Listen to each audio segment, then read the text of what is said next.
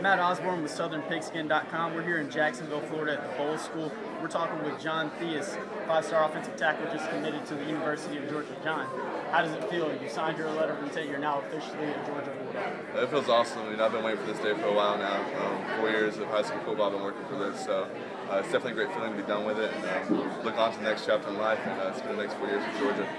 Now, you've known that you were going to be going to Georgia for a. Have you had a chance to really get to know a lot of the other commits in this class? I have. Um, you know, there's some guys, you know, especially like Keith Marshall, some people that are already up there in my class. So, you know, I've been committed since summer, like you said. And um, I've also been able to build a great relationship with a lot of the guys that are already up there because my brother's up there.